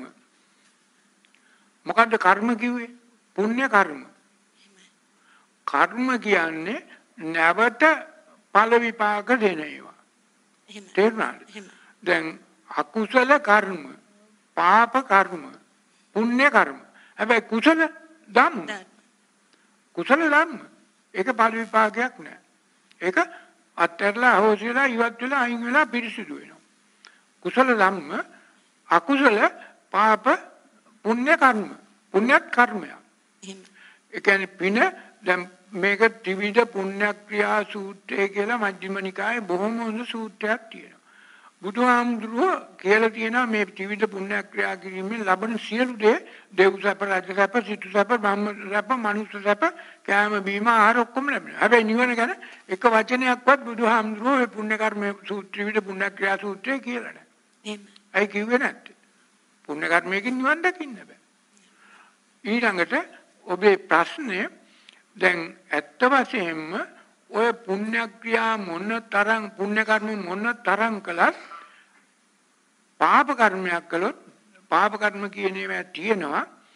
මේ ආනන්තරීය පාප කර්ම තියෙනවා ගරුක පාප කර්ම තියෙනවා අපරාපරිය කර්ම තියෙනවා ආසන්න කම්ම ආචින්න කම්ම උපපීඩක උපඝාතක උපස්තම්භක මෙහෙම තියෙනවා තව තියෙනවා හුඟක් කර්ම. එහෙම මේ මහා කම්ම විභංග සූත්‍රයේ චූල කම්ම විභංග සූත්‍රයේ බුදුහාමුදුරුවෝ කර්මයේ විභංග කළ මේ කර්මයක් කළොත් අර පුණ්‍ය කර්ම සියල්ලම දේවල් යටපත් වෙලා අර පාප කර්මය බලවත් වෙනවා. ඒතකොට ඉස්සෙල්ල ඵල විපාක දෙන්නේ අර පාප කර්මය අකුසල් කර්මය ආර්යෝපාදයක් ගරුක කර්මයක්. එහෙමයි ඉතින් කයින් වචනයෙන් හෝ ආර්යයන් වහන්සේ කෙනෙකුට ආර්ය ධර්මයකට ආර්ය මාර්ගයේ යන කෙනෙකුට එහෙම අපවාදයක් අපඩක් හිතෙන් කයින් වචනයෙන් වත් කළොත් වෙන්නේ මොකද? ඒක බලවත් වෙලා අර සියලු පාප පුණ්‍ය කර්ම යටපත් වෙලා අරක ඉස්සෙල්ලා පාප මේ මේ වෙනවා. ඵල විපාක දෙන්නේ ඉස්සෙල්ලාම පාප කර්ම. ඒක නිසා මේක හොඳට තේරුම් ගන්න ඕනේ. එතකොට මොන තරම් පින්කම් කළාට වඩා බලවත් යම් කිසි කෙනෙකුට ආර්යෝපාදයක් කළොත් මහ දහම් මඟ වැහුවොත් විහෙස දහම් මඟ වැහුවොත් දහම් මඟ ආවර. දැන් මේක මේක ඔබ සමහර විටක හිතන්න තියෙනවා මේ ආර්යෝපාදය කියන්නේ මොකක්ද කියලා. දැන් යම් කිසි කෙනෙකුට ඉගැන්නුවොත් මේ බෞද්ධයෝ නිවන් දකින්න ඔය භාවනා මධ්‍යස්ථාන වලට ගිහිල්ලා උලන් ඇදලා පිට කළා නිවන් දකින්න පුළුවන් කියලා ඉගැන්නුවා මොකද වෙන්නේ? අර ධර්මයේ වැහුවා. සංඝ වේද සූත්‍රයේ තියෙනවා. පැහැදිලිව මේක බුද්ධ දේශනාව විකෘතියටපත් කිරීම. ආනපාන සති සමාධි වෙනුවට ආනපාන ප්‍රාණයාම ක්‍රමය කියලා දුන්නා. එහෙම ඒක පස්සේ අටුවාවක පොතක ලිව්වයි කියලා හරියන්නේ නැහැ. නමුත් අර මේ උලන් ඇදලා පිට කළා මිනිස්සු නිකන් ධ්‍යාන ලබන ධ්‍යාන ලබන්න පුළුවන්. අභිඥා ලබන්නත් පුළුවන්. හැබැයි මගපල වැහෙනවා. මගපල වැහුවොත් වාහන විදියට කටයුතු කළොත් විහෙස. විහිංසාව. පදුට්ටමන් සංකප්ප තත්ත්වයට පත් වෙනවා. ඒක නිසා සියවරක් අර පුද්ගලයාගේ අර හුලං අදින්න පිට කරන්න කියපු පුද්ගලයාගේ සියවරක් නිවන වැහෙනවා අර එක්කෙනෙක්ගේ නිවන වැහිුම නිසා. ඒ හුලං අදලා පිට කළා නිවන දකින්න බෑ. කීයටවත් කවුරු හරි නිවන් දැක්ක කෙනෙක් නැහැ හුලං ඇදලා පිට කළා. බඩ පිම්බීම හැකිලිමෙන් නිවන් දැක්ක කෙනෙක් නැහැ. නිවන් දකින්න නම් මහා රාහුලවාද සූත්‍රයේ කියපු තරහ කෙනෙකුට මෙත්තන් හිතේ රාහුල මෙත්තන් මෛත්‍රී භාවනා කරනවා රාගය කෙනෙකුට අසුභානුස්සතිය වඩන්න ඕන අනිත්‍ය සංඥාව මදන්න ඕන මෝහයක් මානයක් ආයෝනිසෝමනසිකාරයෙන් එනකොට. අතරකම දාන වඩන්න ඕන. එහෙමයි සතරකම දාන වඩනවා නම් හිත කිලුට වෙන්නේ නැහැ කුසලයේ වඩා වර්ධනය වෙනවා. හැබැයි ඒ අනුව ඒක ලොකු කුසල කර්මයක් කුසල කර්මයෙන් නෙමෙයි කුසල ධර්මයක් බවට පත් වෙනවා. එහෙමයි ස්වාමීන් වහන්සේ. එතකොට ඒ වගේ ගොඩක් පුණ්‍ය ක්‍රියා කරපු කෙනෙක්ට පවා හතර අපාය උරුම විය හැකි අරිය උපවාදයක් උරුම විය හැකි. දැන් මොකද වුනේ මුගලන් හාමුදුරුවන්ට? සිකී බුදුහාමුදුරුවන්ගේ කාලේ බුද්ධ කල්ප 7කට පෙර සිකී වෙස්සබු විපස්සී කකුසඳ කොණාගම කාශ්‍යප ගෞතම බුද්ධ කල්ප 7කට පෙර සිකී බුදුහාමුදුරුවන්ගේ කාලේ මේ මුගලන් හාමුදුරුවොත් හොඳ මේ මේ සිටුවරයෙක් වෙලා හොඳට සියලු ආකාරයේ පුණ්‍ය කර්ම කළා තිබුණා මේ මතු උපදින ප්‍රඥාධික බුදුවරයෙකුගේ අග්‍ර ශ්‍රාවකෙක් වෙනවා කියලා. මෙහෙම කරලා තියෙද්දි මේ ඒ සිටුවරයාටින් තමන්ගේ අම්මා තාත්තායි මරණයටපත් වුණා. මොකද උනේ? බුද්ධ කල්ප හතක්ම ආනන්තරීය පාප කර්මයක් කරලා අර නිරේ හිටියේ. දැන් තාම පාපේ කෙවලා ඉවර නැහැ. අර නිල් පාටට උනේ මොකද? නිල් පාටට ආවේ අපායින් ඉඳලා. තාම පාපේ කෙවලා ඉවර නැහැ. දැන් හැබැයි අරහත් අර අර ඊට පස්සේ අර ගෙවලා අර පාප කර්ම ඔක්කොම ගෙවලා බුද්ධ කල්ප 7ක් ගෙවුවා කියන්නේ පොඩි කාලයක් නෙමෙයිනේ.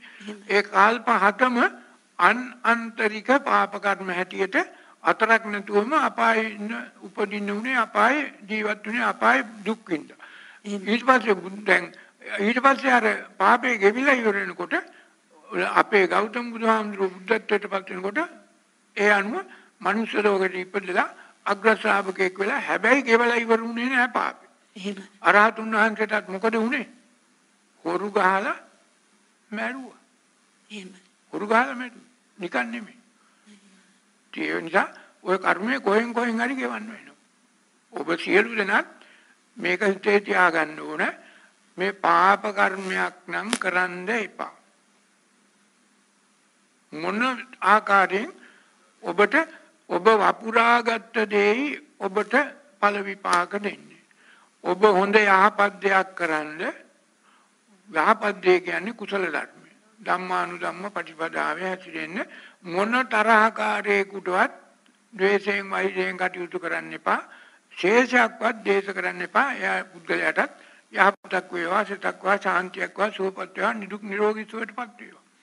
වචනයක්වත් සල්ලි රාතයක්වත් වියදම් යන්නේ නැහනේ. හිත හැබැයි තමන්ගේ හිත පිරිසුදු චේතනාවෙන් මුළු හදවතින්ම ඒ මෙත්තානුසතිය, මද්දානුසතිය, බුද්ධානුසතිය වඩන්න ඒ වගේම කිසිම ප්‍රියමනාප දෙයකට ඒවා බැලුවට දැක්කට වැන්දට මේ භාවිත කළාට වරදක් නැහැ. ඒවට විසම ලෝභයක්, දැඩි තණ්හාවක්, දැඩි ආසාවක් උපාදානය කරගන්න එපා. අසුභානුසති, මද්දානුසති, බුද්ධානුසති අල්ල ඒවෙන් මිදෙන්න. මේක තමයි කරන්න තියෙන එකම වැඩේ කුසලයේ වඩා වර්ධනය වෙන දේ. නැතුව සිල් රැක්කට සිල් සමාදන් වුණාට පිරිත් කිව්වට පිරිත් පෑන් දුන්නාට පිරිත් නිවල් බැන්දට ඕක වෙන්නේ නැහැ. ඒ වගේම අරහතුන් වහන්සේ එවැනි අරිය උපවාදයක් කරගත් පුද්ගලයෙක් ඒ කියන්නේ අරහතුන් වහන්සේ නමකට සිරි සද්ධර්මයට අරිය මඟ වඩන ආර්යයන් වහන්සේ කෙනෙක්ට ඒ වගේ ආක්‍රෝෂ පරිභව කරලා අරිය උපවාදයක් කරගත් පුද්ගලයෙක්ට ඉන් මිදීමට හැකියාවක් මේ වර්තමාන ජාතිය තුළ තියෙනවා. තියෙනවා. බුද්ධ දේශනාවෙම තියෙනවා. සංඝ බේද සූත්‍රයේම තියෙනවා. මේ මේ කමා කරගන්න කියලා. ආවේනිකම්මං පාටිමුක්ඛං උපදේශි කියලා. ඉතින් ඒක නිසා මාතින් මේ ගමනේ මේ සංසාර ගමනේ එහෙම ආරෝපාදයක් කාට හෝ සිදු වී ඇතනම් ඉතින් කයින් වචනයෙන් ඒ සියලු වර්ධයට පාපයට මම කමා කරගනිමි කමා කරගනිමි. මට කමාව ලැබේවා කමාව. ඔය කායේන වාචා චිත්තේන පමාදේන මායාකතං අච්චයන් කම්මේ බන්තේ. ඒ වගේම කායේන වාචා චිත්තේන පමාදේන මායාකතං අච්චයන් කම්මේ ධම්ම සම්දිට්ඨික අකාලික. ඔය තියෙන්නේ ඒ වගේම කායේන වාචා චිත්තේන පමාදේන මායාකටං අච්චයන් කම්මේ සංග අර සුපටිපන්න අනුත්තර. මේ තියෙන වෙන මොකක්වත් නෙමෙයි කමා කරගෙන. කමා කරගත්ත යුත්තේ මේ ගිලව්වගේ වචන කිව්වට ගාතාව කිව්වට හරියන්නේ ඒක කමා කර ගැනීමක් නෙමෙයි ඒක ගිලාචරියාව. ගාතාව කිව්වට ඔය දහම් පාසල් වල පොඩි කාල ළමයින්ට හතරේ පහේදී දෙකේ තුනේදී ওই ගාතාව උගන්වනවා. හැබැයි ඒ ගාතාව කිසිම තේරුමක් හරියක් අත් යන්නේ නැතුව කිව්වට වැඩක් නෑ. ඒකෙන් කමා කර ගැනීමක් වෙන්නේ නිකන් ඔය කියනවා. එතකොට අරියතුන් වහන්සේ එවැනි අරියෝපවාදයක් කරගත් කෙනෙක් කමා කර නොගෙන මිය පරලොව ගියොතින් උරුම වෙන්නේ සතර අපායද? හතර අපාය වෙන්නත් පුළුවන් මනුස්ස ලෝක වෙන්නත් පුළුවන් හැබැයි දුක් විඳින්න වෙනවා නොවිඳිනා දුක් විඳින්න වෙනවා එහෙමයි ස්වාමීන් වහන්සේ මොකද පොඩි පුණ්‍ය ශක්තියකුත් තියෙනවා නම් මිනිසෙක් වෙලත් ඉපදෙනවා හැබැයි ඵල විපාක විඳින්න වෙනවා ඉපදුන දවසේ ඉඳලා දැන් මිනිස්සු වෙලා ඉපදුන මිනිස්සුත් මේ අපායෙම නෙමෙයි දින්නේ ගිහිල්ලා බලන්න කැන්සර් හොස්පිටල් එකට. මොකද තරහෙන් වෛරයෙන් ක්‍රෝධයෙන් ඊර්ෂ්‍යාවෙන් එකට එක් කරපු මිනිස්සු ඔක්කොම එහෙමයි ගිහිල්ලා බැලුවා අරහතන් වහන්සේට කායික නිදුක් නිරෝගී සුවම අදිඨාන කරනවා. අරහතන් වහන්සේ මම තවත් ප්‍රශ්නයක් යොමු කරනවා ඔබ වහන්සේ වෙත. අද මේ පැමිණ සිටින පිරිස මේ ධර්මයට ගොඩක් දුරට අපි බලාපොරොත්තු වුණේ මේ අලුත්ම විදිය කට්ටියක් මෙතෙන්ට ගේන්න මම හිතන්නේ වෑයම් සාර්ථක කියලා මට හිතෙනවා. ඒ සමගම අපි අරතුන් වහන්සේ මෙතෙන්ට මේ දුන්න පොත් පිංචත් එක්ක අපි බාර ලබා දීලා තියෙනවා මුද්‍රණය කරපු සිව්වැලේ සහ ජම්බුද්වීපේ.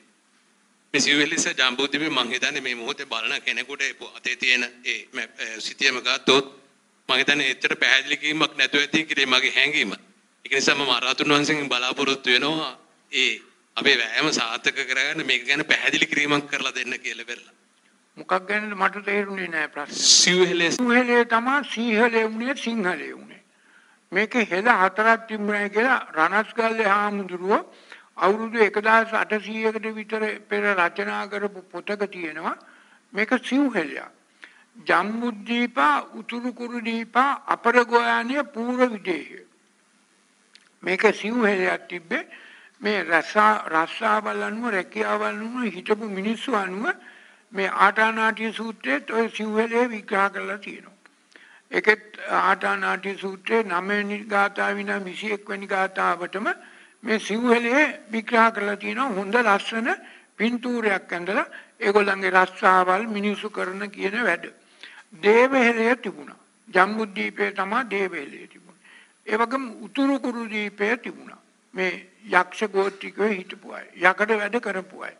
ඒ වගේම මේ වලං හදපු කුම්බාණ්ඩ ගෝත්‍රයේ හිටපු අය හිටියා අර අපර ගෝයානේ. ඒ වගේම පූර්ව විදේහේ හිටියා නාග ගෝත්‍රිකයෝ. ඉතින් ඒක නිසා මේ සිව්හෙලයක් මෙතන මේ රටේ ගෝත්‍ර හතරක්. සිව්හෙලයක් තිබුණේ. ඒක නිසා ගෝත්‍ර අනුව රැකියාවන් අනුව කොටස් හතරකට බෙදුවා මේක හෙළ දීපය හෙළ දීපේ සිව්හෙලය හතරකට බෙදුවා. ජම්බුද්දීපා උතුරු කුරු දීපා අපරගෝයානය පූර්ව විදියේ. ඉතින් ඒක නිසා මේ සිංහලයේ තමා බුදුහාමුදුරුවෝ ඉපදුන ජම්බුද්දීපයේ ලොකුම කොටස වඩාත්ම වැදගත් සියලු බුදුවරුන් බුද්ධත්වයට පත් වෙන්නේ ජන් බුද්ධීපා. බුදුන් ජන්මයේ දපන දීපය. ජම්බුද්දීපා කිව්වේ වෙන මොකක්වත් නෙමෙයි වචන තුනක් මාගදී වචන තුනක් ජන් බුද්ධීපා.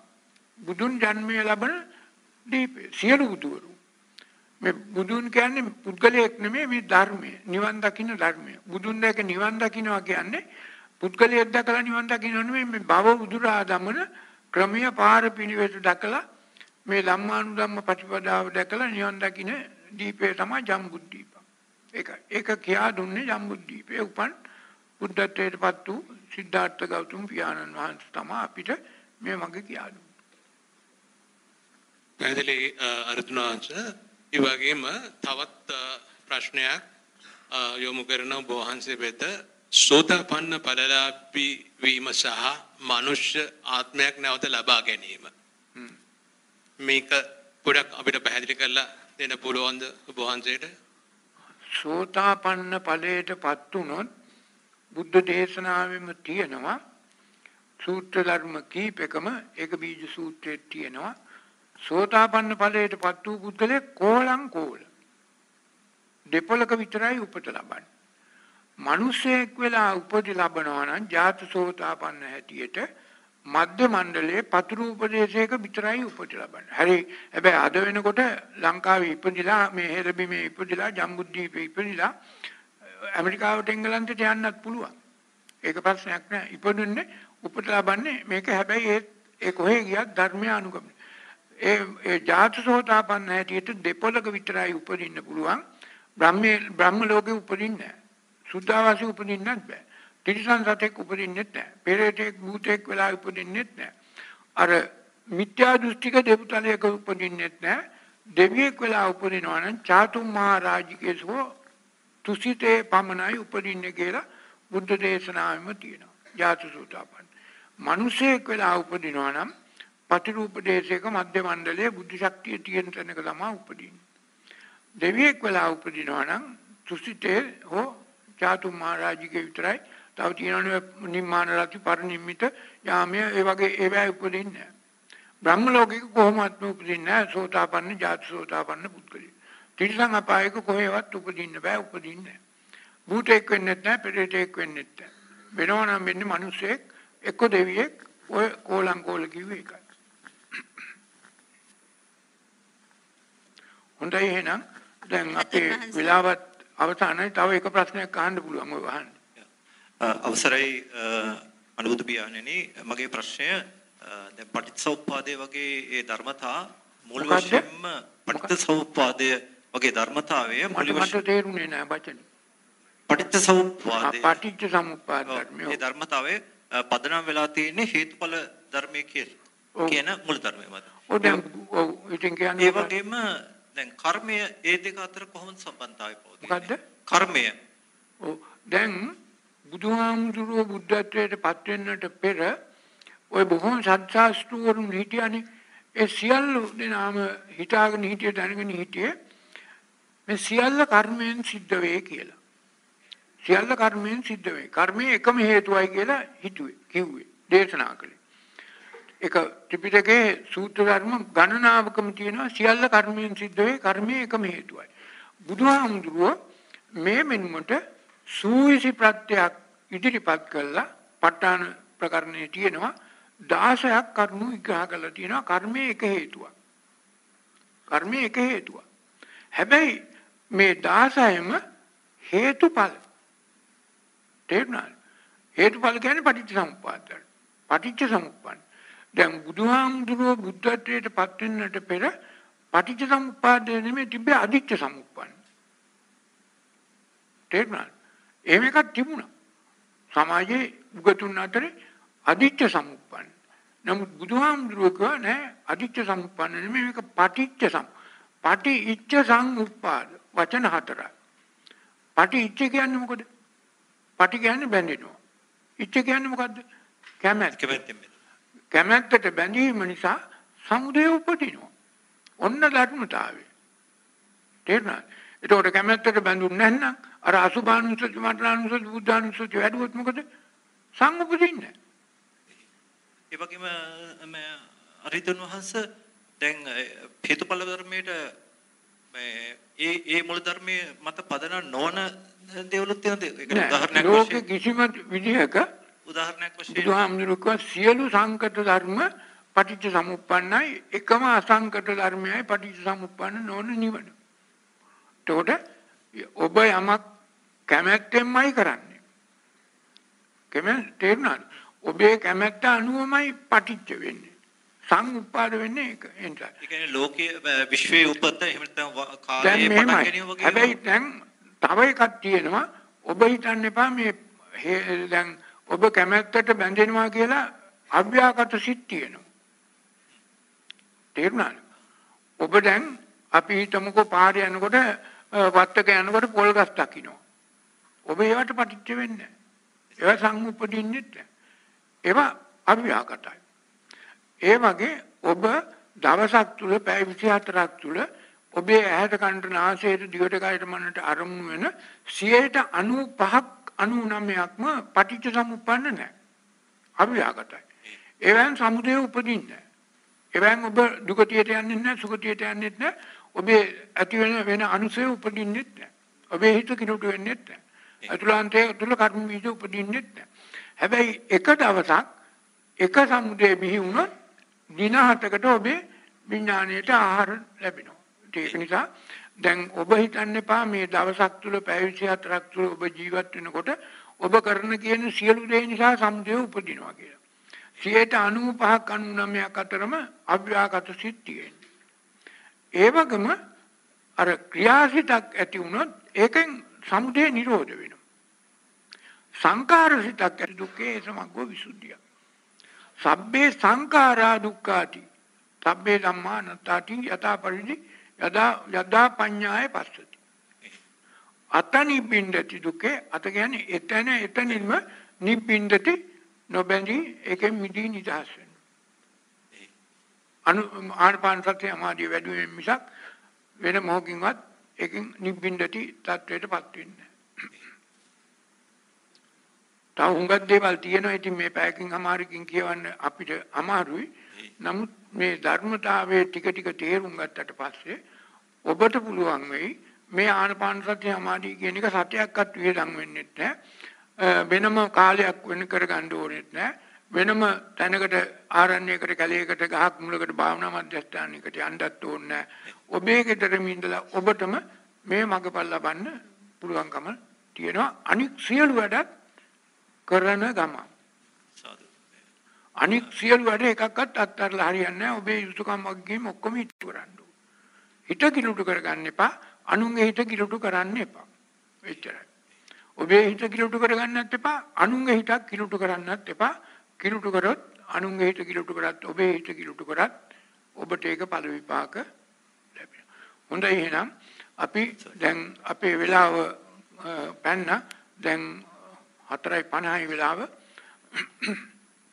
එහෙමනම් අපේ අපේ අපේ ගෞරවනීය කිරම් විමල් ජෝති නායක හඳුරුවොත් එවගම වෙත්තමුනි මහත්මයාලා වෙත්තමුනි ඒ පවුලේ පින්වතුනුත් මැදිහත් වෙලා මුල් වෙලා මේ වගේ ඔබ සියලු දෙනාට ආරාධනා කළ ධර්ම දේශනාවක් කරලා කැපකොට පින් අනුමෝදන් කළ පින් පවරලා මේ මිය පටලව ගිය සියලු ඥාතීන්ටත් ඔබ සියලු දෙනා නමින් මිය පටලව ගිය සියලු ඥාතීන්ටත් කැපකොට පින් අනුමෝදන් කරන යහපත් චේතනාවක් ඇතුව මේ පින් අනුමෝදන් කරලා කරලා තියෙනවා. අපිට මේ වෙට්ටුම් නිමාත්‍ය දීලා තියෙනවා. කොළඹ විශ්වවිද්‍යාලයේ විද්‍යාපීඨයේ 84 85 වසරේ ඉගෙනුම ලබා අපාතුනි වියව් සියලුම මිතුරු මිතුරියන්ටත් 85 86 වසරේ ඉගෙනුම ලබා අපාතුනි වියව් මිතුරු මිතුරියන් වන ශිරාණි බටුගෙදර ඒ වගේම තව නම් වශයෙන්ම සඳහන් කරලා තියෙනවා කීප දෙනෙක්.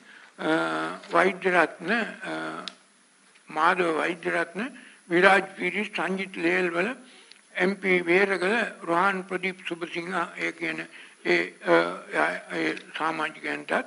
ඒ වගේම මෙම කටයුතු සංවිධානය කළ කමිටුවේ සමාජිකයන් වශයෙන් ඉගම ලැබූ පාසල් වල බියෝ වූ සියලු මිතුරු මිතුරියන්ටත් ඒ වගේම මේ දේශනාව ශ්‍රවණය කිරීමට මෙහි පැමිණි ඔබ සියලු දෙනාගේම නමින් මිය පරලෝකීය පරලෝකීය වූ මෞර්ය මව්පියන් ඇතුළු සීයලා ආච්චිලා ඇතුළු සියලු ඥාති මිත්‍රාදීන් හිතවතුන්ටත් ඒ වගේම දන්ත සීදාවර්ධන පුරෝහලේ වාට්ටු අංක 18 ස්නායු අංශයට අනුබද්ධික දැඩි සත්කාරයකගේ ප්‍රතිකාර ලැබීමෙන් සිටින විශ්‍රාමික ජේෂ්ඨ නාවික හමුදා නිලධාරී කමාන්ඩර් මනෝජ් ජයසූරිය මහතා එතුමාටත් ඉක්මන් සුවේ පතා අධිෂ්ඨාන කිරීමේ ආශිර්වාද කිරීමෙන් ඒ වගේම ඒ මිය පරලෝකීය ඥාතීන්ට පින් අනුමෝදන් කිරීමත් බලාපොරොත්තු වෙන තමයි ඒ යහපත් චේතනාවක් ඇතුව ඒ වගේම අපි ඔබ සියලු දෙනාගේ නමින් මේ පරිලෝකීය සංසාරගත මෞදමෝපියන් සියලාචිල ඇතුළු සියලු ඥාතීන්ට